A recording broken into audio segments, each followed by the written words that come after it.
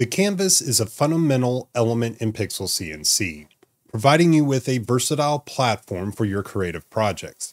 It allows you to work with raster, vector, and 3D files, allowing you to combine different file formats in one place. Let's take a look at setting up your canvas. To start working with the canvas, access the canvas properties on the left-hand side of the Pixel CNC interface. Once we click on that, the right panel lets us know what properties we can adjust. Our first column, size, is the actual size of our canvas. This can be the actual size of your stock material or just the size of the area you want your design to be.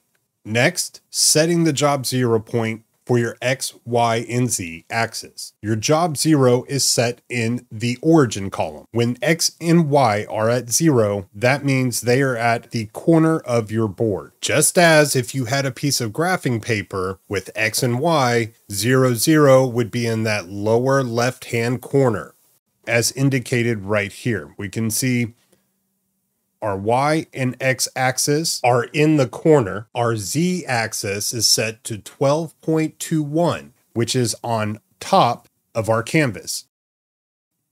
If we wanted to zero Y off our spoil board or the bottom, we change this to zero, click apply, and we can see it moves it down to the bottom. So this is where your X, Y, and Z are zeroed off of. Let's say you wanted to center to the middle of your project. To do that, go to the X origin and we will type in the size of our X times 0.5. And then for Y, we will repeat the process times 0.5, enter, and then we'll click apply. And as we can see, our job zero is now the center top of our board. We'll go ahead and reset this back to our lower left-hand corner off the top. Next, we can adjust the fill or the volume of our canvas. So in the Z fill, if we press this arrow up, click apply, we can see this gray volume has been applied to our canvas. If we only wanted half, again, we can use times 0.5, apply, and now our volume is half of the canvas size. So depending on what type of project you're doing, you can either fully fill your canvas and then do a reductive with the other parts to take away, or you can start with no fill or half fill or just even two millimeters fill and then add with your vector, raster, or 3D files. For this, I'm going to set this to six, hit apply, and now let's look at how the layers interact with the canvas. Layers are the artistic palette in Pixel CNC. You can create or import various types of layers. As mentioned earlier, raster, vector, 3D, or even text.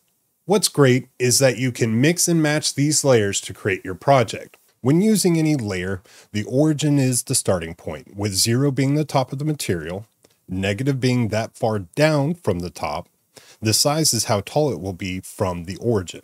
Let's say we import some vector files that we will then use the generate shapes effect on. Once we have applied the shapes from path effect, they will then create a new raster layer. To engage with any layer that you have imported or started, make sure you are clicked on it. A yellow bounding box will be around the object you have selected. And then we're going to get rid of the bounding box I have created for this file. We are now left with this single vector import, which contains two shapes.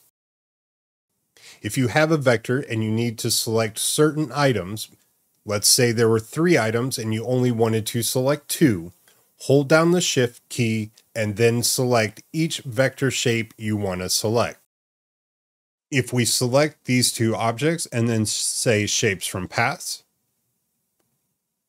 let's do a fillet shape, generate, and now we have this picture frame look here.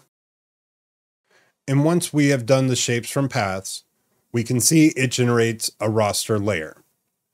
We can go back to our vector layer enable the paths. Let's say we click just the oval in the middle and we do a shapes from path on this one as well.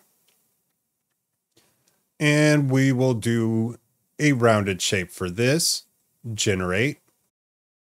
It is now generating another raster layer. Notice how when we had both the rectangle and the oval selected, it generated a shape between those two. When we just had the oval, it generated a shape just for the oval.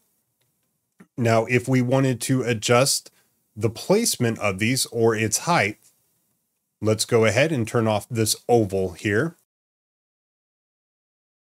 We are still in our oval here, but first disable paths.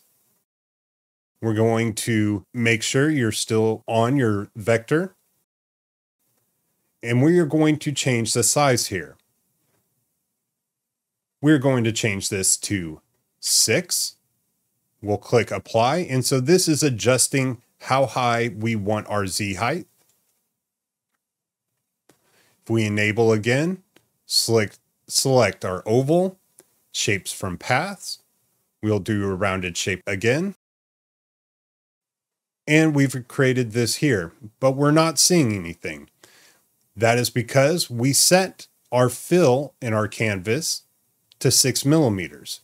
So if we click on a raster layer and we move our origin from six to negative six, it appears. If we change this to four, it is four millimeters from the top, zero. Remember when we were setting our job zero point?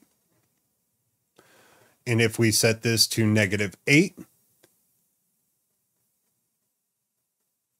make sure it's negative 8, it'll now be shallower than our frame here.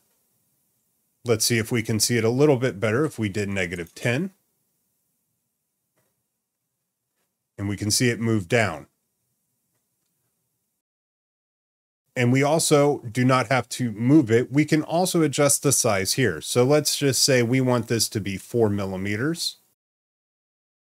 Remember our fill is at six millimeters, so we will change this to negative six. We'll hit apply.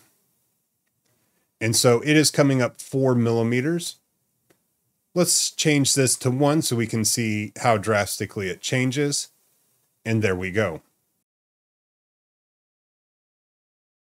Just as we adjusted the raster in its size and origin, you can adjust how it's generated from its vector with its size and origin point. What this allows you to do is to create some really fun combinations and really build complex and interesting parts. For this video, I have used very simple elements. As we progress in Pixel CNC, we will add complexity in both the overall design and combination of layers. One thing to note, you can have volume outside of your canvas. It will be marked red and will be ignored when you move to the tool pathing. To wrap up, the canvas in Pixel CNC is a dynamic foundation for your creations. Today, we have gone over the basics of setting up and manipulating the canvas and layer properties, and laid the essential groundwork for bringing your artistic visions to life. We have just scratched the surface of the tools and features available, so make sure you are subscribed to dig deeper as we explore Pixel CNC. This is Paul with DE Hammer, and until next time, keep making stuff.